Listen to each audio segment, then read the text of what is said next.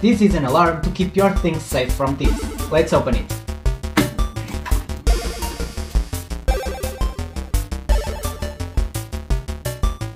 It comes with these straps to stick your alarm to your vehicle. It comes with these instructions, but who needs them? And this is the alarm that comes with this controller. You can set to lock, unlock, change volume, or, or change alarm. You just need to take off this thing